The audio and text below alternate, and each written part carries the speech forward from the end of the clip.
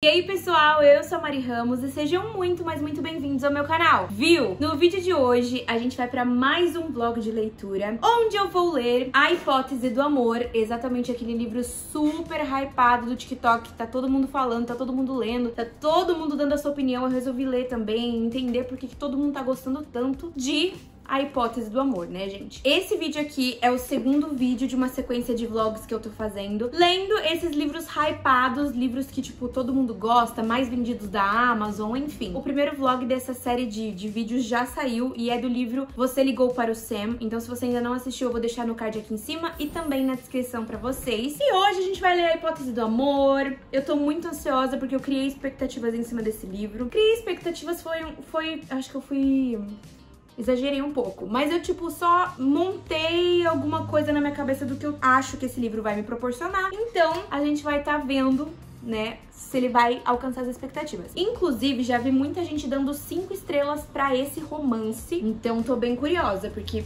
para mim, um romance normalzinho assim, ganhar cinco estrelas, o livro tem que ser bom. Até porque eu gosto mais de fantasia, né? Então vamos ver. Antes de mais nada, já rola a tela pra baixo. Se o botão estiver vermelho, clica em se inscrever e faça parte do canal. Aproveita o embalo e já ativa o sininho de notificação pra, claro, receber mais vídeos como esse daqui. Deixe nas sugestões nos comentários outros livros que vocês gostariam que eu lesse aqui nessa, nesses vlogs de leitura. E se você quiser acompanhar minhas leituras de perto, ou seja, comentários sobre os livros, qual é o próximo livro que eu vou ler, não sei sei o que, não sei o que, é só me seguir nas redes sociais que estão aparecendo aqui embaixo pra vocês. E também elas estão aqui na descrição, que tem meu Twitter, meu Instagram, também tem meu Scooby pra quem quiser. Pode me seguir lá, é só ver aqui na descrição, tá bom? Então bora pra hipótese do amor.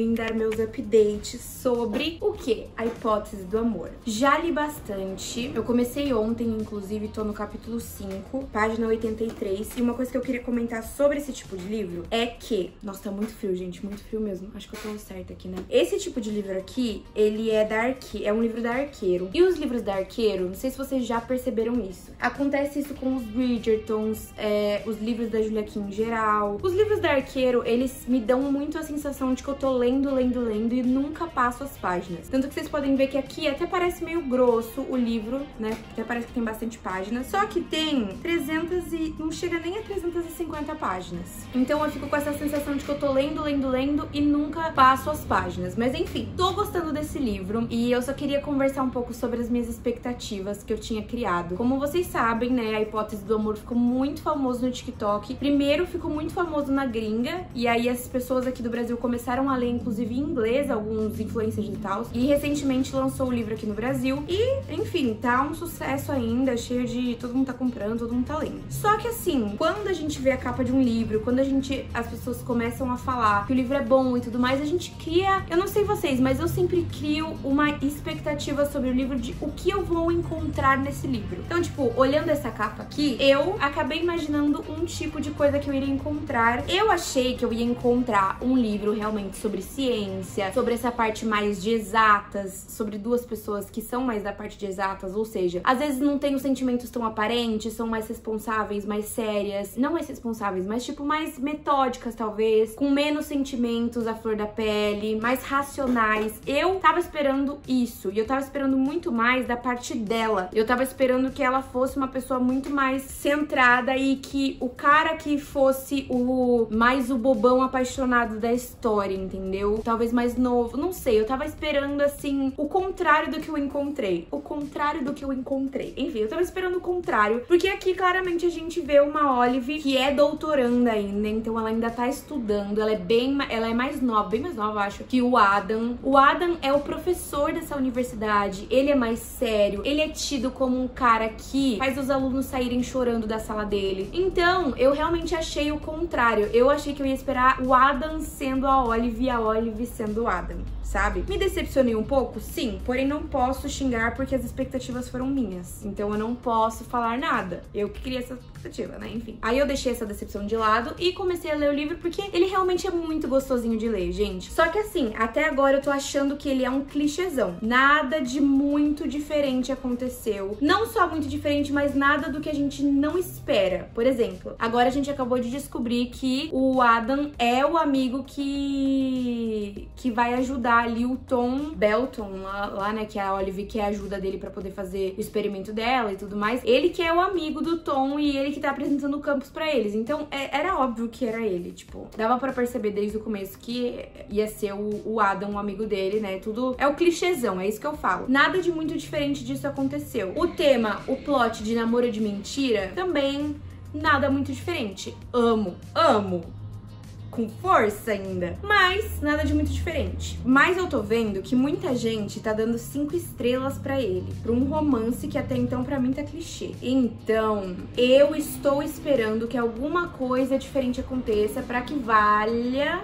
valha, para que valha, sei lá, pra que valha cinco estrelas, entendeu? Então eu tô só sentindo aqui, tô gostando. Tá sendo gostoso de ler porque a leitura é fluida, tem muitas falas, então passa rápido, tipo, a página, assim. Tô gostando também das hipóteses no começo do, dos capítulos. Eu gostei muito desse trocadilho que eles fizeram. Logo no começo do livro, eles dão essa, essa definição de hipótese, né? Vou ler pra vocês. Hipótese, substantivo. Uma suposição ou explicação possível construída com base em evidências limitadas como um ponto de partida para mais investigações. Exemplo, com base nas informações disponíveis e nos dados coletados até agora, minha hipótese é: quanto mais longe eu me mantiver do amor, melhor eu vou ficar. E aí, claramente, uma hipótese é uma ideia que, a partir de evidências limitadas, como diz aqui, a partir de coisas que aconteceram que não definem um todo, a gente cria uma hipótese que ela precisa ser investigada a fundo para poder ser concretizada, pra gente poder falar, não, é isso mesmo. E eu gostei muito desse trocadilho porque no,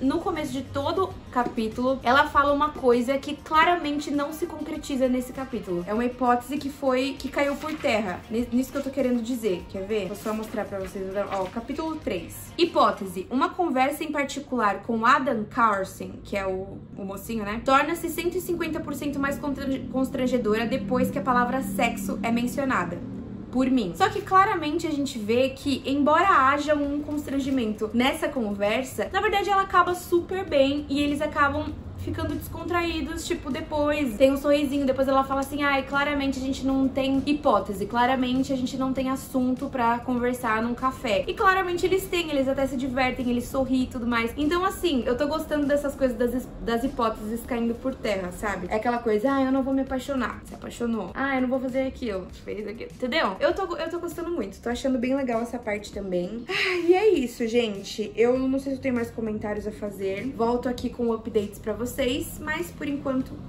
é isso. Gente, vim pra updates. Já queria avisar também que vocês vão me ver muito com essa blusa, tá, gente? Porque, primeiro, tá muito frio. Tipo, hoje tá 13 graus aqui. Pra mim, isso é frio. Não vem gente falar que não é frio, é frio pra mim. Eu moro no interior de São Paulo. É frio. Essa blusa é muito quentinha, então, assim, provavelmente eu vou estar o vlog inteiro com ela. Mas tudo bem. Li mais agora. Eu tô no capítulo 11.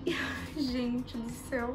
Ai, eu tô amando. O que que eu acho? Algumas coisas que aconteceram, eu acho que não são plausíveis o suficiente para terem acontecido de uma forma espontânea. O que, eu quero dizer com isso? Por exemplo, Ai, será que esse vídeo vai ter spoiler? Pô, vou tentar não dar spoiler, tá? Mas todo mundo vai saber. A hora da palestra, de sentar no colo, a hora do protetor solar. Não acho que esses momentos foram tão espontâneos assim para acontecer na vida real. É nesse quesito que eu quero falar, entendeu? Eu acho que teve uma forçação só pra gente conseguir ver, ver cenas que a gente adoraria ver. Porque, por exemplo, eu fiquei incomodada com a cena? Não. Aliás, adorei. Adorei essa vibe. Mas assim, não acho que, que a autora trabalhou de um jeito que daria para acontecer na vida real, entendeu? Que fosse tipo que claramente isso aconteceria, entendeu? É nesse quesito que eu quero que eu quero dizer. E eu até arrisco dizer que o livro realmente é clichê, mas ele é clichê propositalmente. Ele é um clichê proposital justamente porque ela já fala de romance, de comédias românticas no começo do livro. E aí tudo que acontece basicamente tem a ver com comédia romântica, é, tem alguma coisa relacionada com isso. Então, eu acho que, tipo, realmente é uma coisa proposital. Mas o que prende a gente no livro é a forma como esses clichês acontecem e os diálogos muito bem pensados, né, gente? É tudo muito assim, ping-pong, tudo muito cômico, tudo muito engraçado e que deixa a gente com aquele ar de leveza, aquela coisa de romance, é, comédia romântica mesmo. É uma comédia romântica, aquele, aquela leveza de um romance que tá acontecendo, que ela tá descobrindo que ela tá gostando dele, que ele claramente já gosta dela, né? A gente já sabe disso. Então, tipo assim, eu tô gostando muito, tô achando muito leve a leitura, tanto que hoje eu li quase 100 páginas, assim, e ele só tem, ele tem poucas páginas. Então, eu tô na metade do livro agora, e eu comecei ontem, só pra vocês terem uma noção. Então, assim, eu tô gostando, mas eu quero muito entender como é que isso vai rolar. Eu não consigo ainda achar um ponto ápice em que as coisas vão piorar para depois melhorar, entendeu? Porque às vezes acontece isso em romance, né? Às vezes as coisas todas pioram para poder melhorar. Eu vou voltar a ler e volto com updates aqui pra vocês. E eu quero muito falar pra vocês também se eu gostei do livro, se eu dei 5 estrelas ou não, mas eu não sei se eu vou dar 5 estrelas. Bom, até a metade do livro eu acho que não. Não sei já volto. Gente, eu só vim fazer uns updates, comentar um pouquinho, vai ser super rápido, porque eu tô quase terminando o livro e aí eu só volto quando eu terminar pra dar os meus, as minhas considerações finais. Mas já tá num negócio muito gostoso de tipo assim, ela sabe que ela gosta dele, ele claramente gosta dela também, claramente gosta dela também. Só que fica um negócio tipo assim, sem um contar pro outro, sem o outro achar que gosta do outro. Então tá tipo um, negócio meio falta de comunicação. E agora acabou de acontecer tipo a injustiça máxima máxima que o Tom se mostrou um babaca bem depois da palestra dela. Falou um monte de asneira pra ela, tipo assim, eu tô revoltadíssima. Tô brava que também ela não contou pro, pro Adam, só que, tipo, claro que a gente chega a pensar que talvez ela, ele não acreditaria nela. Tipo, eu acredito que ele acreditaria, só que mesmo assim dá esse medinho, né? Porém, eu tenho uma teoria. Eu acho que ela vai encontrar, ela vai encontrar essa parte que o Tom falou com ela no celular dela. Porque lembra que ela falou que ela vai gravar pra doutora doutora Aslan e para ele, que ia mandar para ele depois? Pois então, eu acredito que ela vai encontrar essa parte do Tom e vai ser assim que ela vai mostrar pro Adam o que, que o Tom fez e aí não vai ter nem como questionar, ele não vai ter nem como questionar. Vamos ver se é isso mesmo que vai acontecer, se eu acertei esse plot, mas eu tô muito ansiosa para ver isso. Como eu acho que já como já tá acabando o livro, eu acho que vai ser isso que vai acontecer. Mas é isso, eu volto para mais updates. Eu queria só comentar essas partes que eu fiquei muito possessa com esse cara babaca, ridículo, mas eu sei que o Adam vai resolver tudo e vai dar tudo certo no final. Eu fiquei feliz que esse foi o ponto, tipo, de dar as coisas errado no livro. Eu fiquei feliz que não foi uma comédia romântica tradicional em que tem algum desentendimento entre os dois, entendeu? E aí eles ficam separados. Não, eu gostei que foi esse o ponto de comédia romântica que deu o abaixou a ladeira para depois subir. Mas é isso, volto com mais updates e daí o final desse vídeo. Fechou? Gente, terminei a hipótese do amor. Tenho muitas coisas para falar. Primeiro que a gente parou quando o Tom assediava ela, que foi péssimo, terrível. Depois disso, para mim, foi tipo um ápice de coisas legais acontecendo. Legais, assim, de interessantes para a história do livro, né? Ai, gente, olha, eu amei, tá? Vai ser muito difícil falar que não gostei, porque eu amei. Eu tinha comentado que eu ia, que eu tava achando difícil eu dar cinco estrelas pra um romance, mas olha, facilmente eu vou dar cinco estrelas pra esse romance, porque assim, o que eu mais gostei, vamos falar do romance em si, tá bom? Olive e Adam. A gente sabe que todo o livro, até o capítulo basicamente 15, quando acontece o negócio com o Tom, todo o livro até então, ele meio que serve para o aprofundamento da relação deles. Então, na minha percepção, esse é um tipo mil vezes melhor de romance, porque é aquilo que vai se construindo, é aquilo que assim, embora a gente saiba que um tá apaixonado pelo outro, só eles não veem aquilo. É uma coisa que é gostosa gostosa de ler. Você, ao mesmo tempo que você fica tipo, ai, por que, que eles não falam? Por que, que eles não, não tiram esse medo e tal? A gente fica se, se imaginando nesse tipo de relação também, sabe? Tipo, será que a gente falaria alguma coisa? Ou será que a gente deixaria rolar? Será que a gente. Sabe? Eu fico me imaginando total nesse tipo de situação e eu amei essa construção do relacionamento deles. De ver alguns pontos que o Adam falava para ela que a gente já conseguia perceber como ele já gostava dela desde o começo, né? Como basicamente ele soltava umas coisas tipo, ai, vai ser bom se você estiver lá e tudo mais. E ela, claro, nem se ligava, mas essas foram uma das melhores coisas para mim no, em todo esse, esse romance deles, a construção da relação deles. Até o momento do primeiro hot, que foi surreal. Assim, esse livro tem pouco hot, porque tem basicamente dois capítulos de hot, mas para mim bastou. Assim, foi Gente, é perfe... eu acho que esse livro, ele tem uma construção muito perfeita. Muito perfeita dos acontecimentos. É impossível eu falar que tem algum furo, que tem alguma coisa errada. Tá bom que eu achei, tipo, aquelas coisas que a Anne forçou ela a fazer no começo, beirando uma linha tênue entre o fictício, que parece fictício, e o fictício espontâneo, que a gente fala, não, claramente isso aconteceria na vida real, sabe? Mas, meu filho, isso fica... Ih, é só aquilo, sabe? Só aquilo que diferencia e que, tipo, me incomodou um pouco. Em comparação ao restante das coisas, meu bem, ó, tudo pra mim foi perfeito. Tudo pra mim foi perfeito. Eu acertei o plot de que o, de que o celular tinha gravado as coisas, né? Eu acertei o plot. Mas é um plot meio fácil de acertar também, né? Vamos e convenhamos. Mas eu fiquei tão feliz de como as coisas aconteceram. Tipo, eu achei, eu tinha hipóteses. Eu achei que talvez a doutora Aslan lá, ela poderia abrir o vídeo e ver o que o Tom falou para ela. E aí a gente descobria a partir dela o que tinha acontecido. Eu achei que talvez ela pudesse mandar pro Adam também, tipo assim, ele pedir, ah, eu posso ver sua, sua palestra e tudo mais. E aí nesse mandar ele descobriria e depois viria falar com ela e tudo mais. Eu não achei que ela iria descobrir com os amigos ali, mas eu ainda assim gostei, gostei ainda mais quando ela foi até o restaurante. Ele mandou o Tom embora, o Tom já começou a ser babaca com ele, e aí ela já soltou a gravação, já foi muito coerente com o que ele tava dizendo naquele momento, e aí não teve nem como, como se defender, basicamente ele já foi pra cima do Tom. Nossa, foi assim, um desfecho muito satisfatório para mim, embora algumas das coisas eu queria ter visto mais, sabe? Queria ter visto mais, queria que ela descrevesse mais depois do momento que ela falou que amava ele,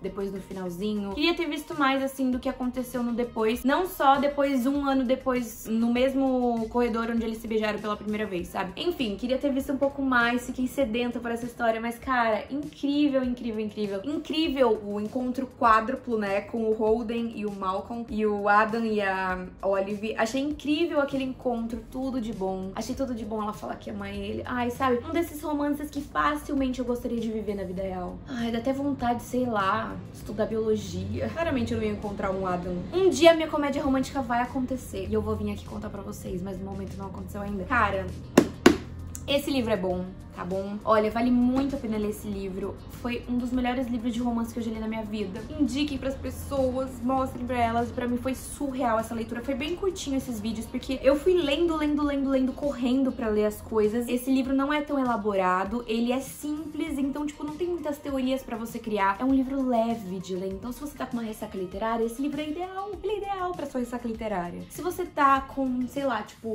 querendo ler algo leve, se você tá cansada de fantasia, se você tá... Leia leia esse livro.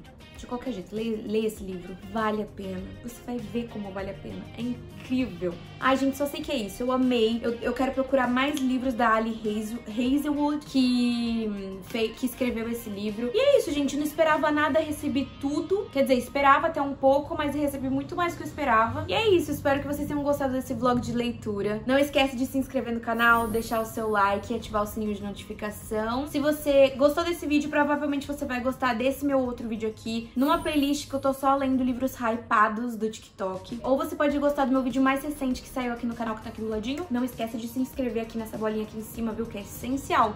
Não esquece de se inscrever. Um beijo e até a próxima.